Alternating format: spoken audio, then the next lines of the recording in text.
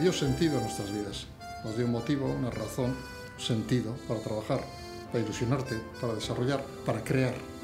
Y al final el lema que él dijo, ¿no? crear y no poseer, actuar y no ganar, progresar y no dominar. Es lo que el tema que el lema que a mí me gusta mucho porque es crear, crear, crear.